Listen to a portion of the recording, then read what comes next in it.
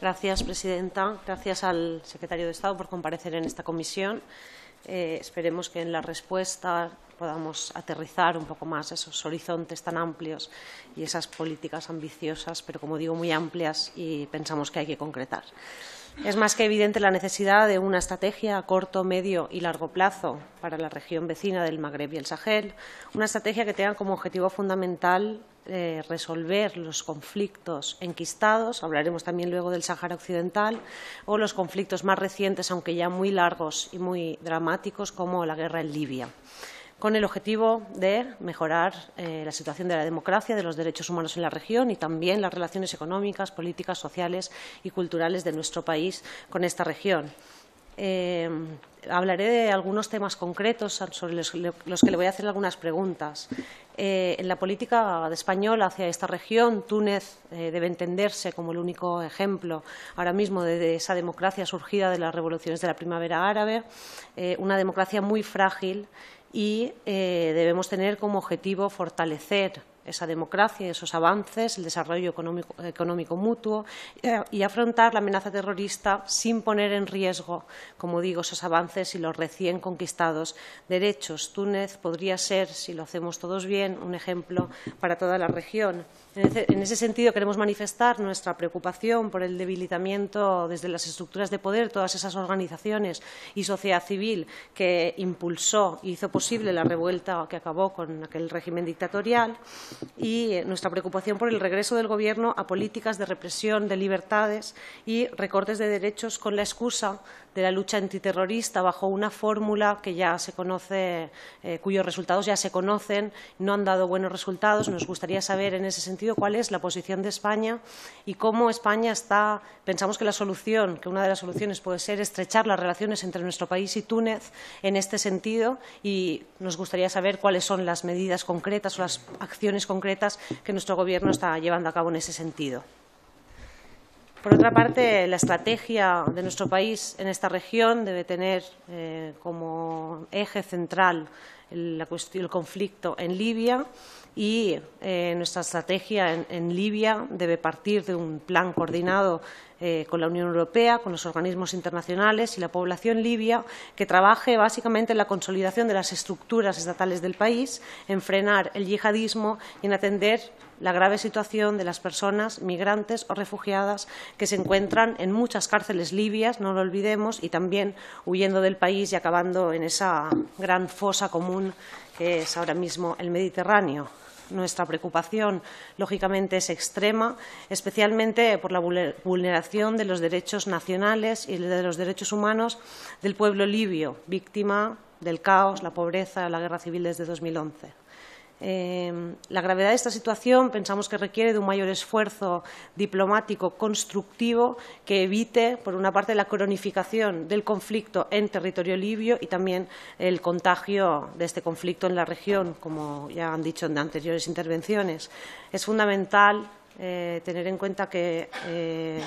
deben atenuarse los intereses de eh, potencias internacionales y también de potencias regionales en el conflicto y en el tipo de solución que se aborde. Debe rechazarse, por tanto, todo tipo de intervencionismo militar y debe rechazarse, por supuesto, eh, cualquier tipo de solución que no pase por considerar de forma igual a todas las partes en el conflicto. Eh, es fundamental pensamos desde este grupo parlamentario apostar por el desarrollo económico y cultural como una estrategia a largo plazo y duradera de lucha contra el terrorismo yihadista. En ese sentido, pensamos que nuestro país debería de impulsar una revisión también de la política migratoria de la Unión Europea y de esa misión Sofía que usted eh, ha mencionado no sé qué evaluación se hace de esa misión Sofía. Lo que estamos viendo, como ya he dicho, es que el Mediterráneo se ha convertido en una fosa común de gente desesperada que está huyendo de la pobreza y de la guerra y no está dando buenos resultados. Pensamos eh, que se tiene que revisar esa política y nos gustaría saber cuál es, eh, más allá de alabar lo que existe, el análisis que hace el Gobierno de los resultados concretos de, de esta misión y de la política migratoria de la Unión Europea y cuál debería ser, en en su opinión, eh, el, rumbo o la estrategia a seguir.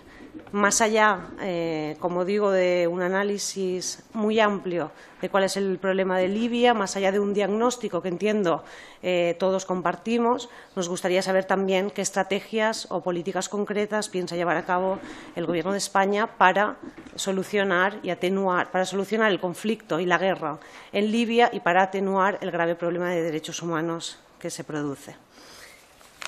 Eh, la otra de las cuestiones sobre las que quería hacer mención es, evidentemente, la de nuestro socio privilegiado en la región, Marruecos. Eh, en primer lugar, hace referencia a la crisis migratoria, enlazando con lo que estaba comentando ya del Mediterráneo. Eh, lamentablemente hemos sido pioneros en la externalización de la gestión de las migraciones en la frontera con Marruecos. Triste ejemplo copiado después en Libia, pero no solo, también en Turquía. Pensamos que debemos avanzar hacia una gestión de la movilidad más respetuosa con los derechos humanos y el establecimiento de vías seguras para el refugio y el asilo. En cuanto a Marruecos, eh, nos gustaría también eh, mostrar nuestra preocupación por la situación en el RIF, por esas movilizaciones sociales. Nosotros somos hijos de movilizaciones sociales de ese tipo que piden mayor esfuerzo eh, mayor en infraestructuras, en políticas de igualdad, en sanidad, en educación, en democracia, en respeto, en definitiva, eh, de los derechos humanos, como hijos de un movimiento similar y conocedores de las consecuencias que puede tener. Eh, nos gustaría saber cuál es la posición de España frente a esta situación y si han tenido ustedes contacto con el Gobierno de Marruecos también para para eh, preguntar sobre lo que también vemos con preocupación, que es una respuesta represiva por parte de las fuerzas marroquíes, y eh, saber si el Gobierno de Marruecos les ha comunicado cuál va a ser su estrategia y, por supuesto, cuál va a ser la posición o la postura que nuestro país adopte frente a eso. Y, eh, para finalizar, no podemos dejar de hablar del Sáhara Occidental, eh, coincidimos eh, sorprendentemente en los objetivos, pero pensamos que el papel de España tiene que ser mucho más proactivo, mucho más protagonista y tenemos que hablar, al menos en esta comisión, sobre políticas concretas, sobre medidas concretas, sobre qué postura va a adoptar el Gobierno de España con respecto a la solución de ese conflicto enquistado eh, y esa es mi pregunta. Nosotros pensamos que es necesario, evidentemente, buscar una solución justa y definitiva que respete los derechos humanos del pueblo saharaui y el derecho a la libre determinación y pensamos que es necesario que nuestra acción exterior tenga en cuenta una serie de elementos sobre los cuales también eh, me gustaría conocer su opinión. Por una parte, el cumplimiento de la sentencia del Tribunal de Justicia de la Unión Europea de diciembre de 2016, donde se establece claramente que los acuerdos de asociación y liberalización entre Marruecos y la Unión Europea no se aplican en el Sáhara Occidental, la preocupación sobre la explotación de los recursos naturales del Sáhara Occidental y eh, también qué acciones para una solución política, como digo, justa, eh, duradera y mutuamente aceptable a través de un referéndum de autodeterminación que se tenía que haber dado hace mucho tiempo y que es, pensamos, la única forma de poner fin a este conflicto. En cuanto eh, a otras cuestiones que también usted ha mencionado, no quiero dejar de, de mencionar en el Sahel, ha comentado la gran aportación de España a ese fondo fiduciario de emergencias para África, pero a mí me gustaría preguntarle concretamente eh, sobre una noticia recientemente aparecida en la prensa que indica a qué se están destinando los recursos de ese fondo que debería estar destinado a acción humanitaria, debería estar destinado a desarrollo y está destinado a políticas migratorias y a eh, políticas migratorias que, como ya he dicho, no van en la línea del respeto de los derechos humanos y de la respuesta a las necesidades de lucha contra la pobreza y el hambre que hay en toda la región. Eh, entendemos que la política seguida por el Gobierno español, no solo este, también los anteriores, con respecto al Magreb, es una política conservadora que no nos permite ser proactivos eh, frente al incremento en la región del terrorismo internacional, de las guerras, de los conflictos y la desigualdad. No olvidemos que el Mediterráneo es la frontera más desigual del mundo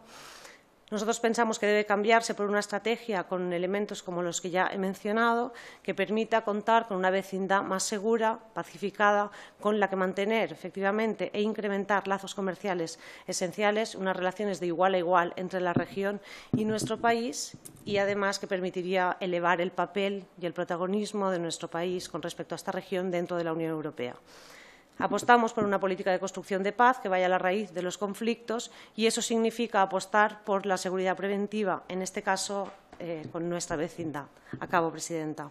Seguridad y desarrollo económico compartido. Solo así se avanzará en la reducción de esa desigualdad, en la violencia y los conflictos que ahora mismo azotan la región, eh, en los derechos humanos y en la democracia. Eh, como decía al inicio, grandes aspiraciones, grandes objetivos,